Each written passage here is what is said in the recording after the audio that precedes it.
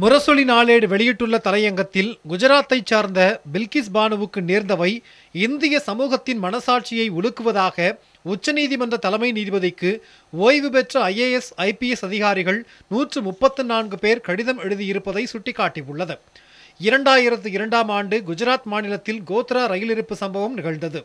இதில் ஐம்பத்தி இரண்டு யாத்ரீகர்கள் பலியானார்கள். இஸ்லாமிய மதத்தைச் சேர்ந்தவர்கள்தான் இந்த எரிப்பை நடத்தியதாக செய்தி பரவியது. இதனால் இஸ்லாமியர்களுக்கு எதிரான பெரும் வன்முறை அரங்கேற்றப்பட்டது. இதில் இருபதாயிரத்திற்கும் மேற்பட்ட இஸ்லாமியர்கள் வீடுகள் சொத்துக்கள் சூறையாடப்பட்டன. இதில் கொல்லப்பட்டவர்களில் பில்கிஸ் பானுவின் குடும்பத்தினர் பதினான்கு பேர். இதில் பில்கிஸ் பானுவின் மூன்று வயது குழந்தை சுலேகா சுவற்றில் அடித்து கொல்லப்பட்டார். அப்போது ஐந்து மாத கர்ப்பிணியாக இருந்தார் பில்கிஸ் பானு.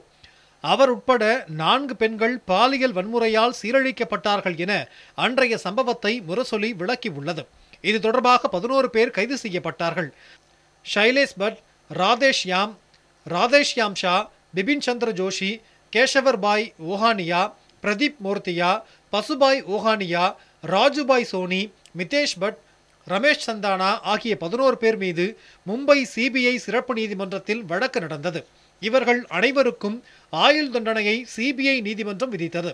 இவர்கள் கோத்ரா சிறையில் அடைக்கப்பட்டிருந்தார்கள். சுதந்திர தினத்தை முன்னிட்டு கடந்த ஆகஸ்ட் பதினைந்து அன்று இவர்கள் பதினோரு பேரையும் விடுவித்திருக்கிறது குஜராத் மாநில அரசு. நீண்ட காலம் சிறையில் இருந்தார்கள் என்கிற அடிப்படையில் அவர்களை விடுதலை செய்துள்ளது அம்மாநில அரசு என வழக்கு விவரங்களை முரசொலி விவரித்துள்ளது. இவர்களது விடுதலையை எதிர்த்து உச்சநீதிமன்றத்திற்கு பல்லாயிரக்கணக்கானவர்கள் கடிதம் எழுதியிருக்கிறார்கள். இது சட்டப்பூர்வமானதாக இருந்தாலும் தார்மீக ரீதியானதா என்றும் அவர்கள் கேள்வி எழுப்பியிருக்கிறார்கள். பதினோரு பேரின் விடுதலையை ரத்து செய்ய கோரி உச்சநீதிமன்றத்தில் வழக்கு தொடுக்கப்பட்டுள்ளது.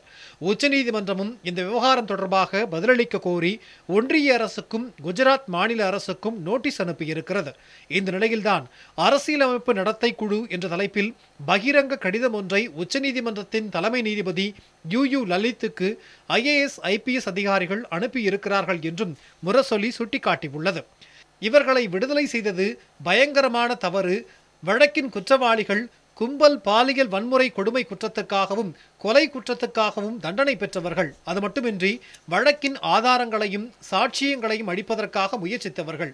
இந்த வழக்கை விசாரித்த மகாராஷ்டிர மாநில அரசுதான் இந்த முடிவை எடுத்திருக்க வேண்டுமே தவிர இதற்கு சம்பந்தமில்லாத குஜராத் மாநில அரசுக்கு இந்த முடிவை எடுக்க உரிமை இல்லை முன்கூட்டியே விடுதலை செய்யலாம் என்று முடிவெடுக்கும் குழுவில் இருந்த பத்து பேரில் ஐந்து பேர் பாஜகவை சார்ந்தவர்கள்.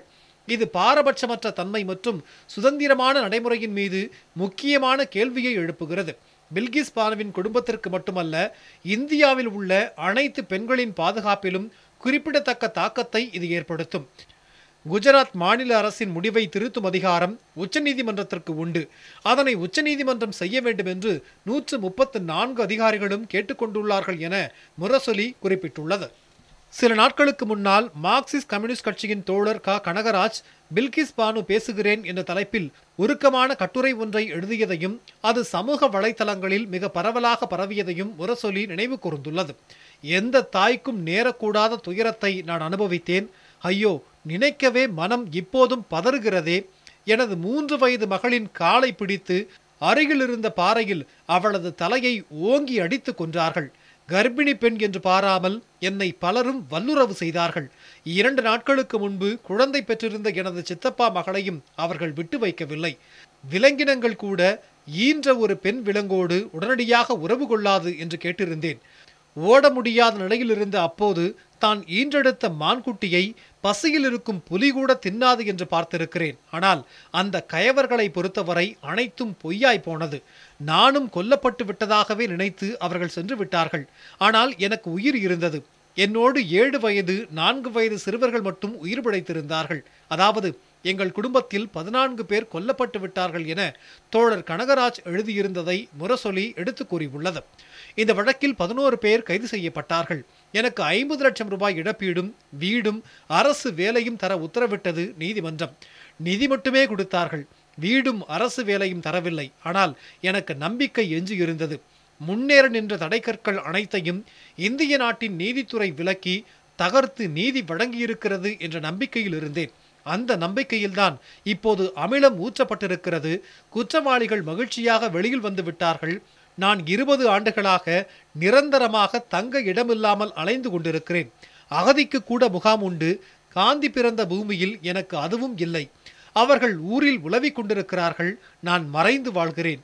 என் தாய்நாடு நீதி மறுக்கப்பட்டவர்களின் தேசமாகவும் நீதி மறுப்போர் ஆளும் காடாகவும் மாறிவிடக் கூடாது என்று பில்கிஸ் பானு சொல்வதாக அவர் எழுதியிருந்ததையும் சுட்டிக்காட்டியுள்ள முரசொலி பில்கிஸ் பானுவுக்கு நேர்ந்தது இந்தியாவின் மனசாட்சியை தட்டி எழுப்புகிறது என தெரிவித்துள்ளது.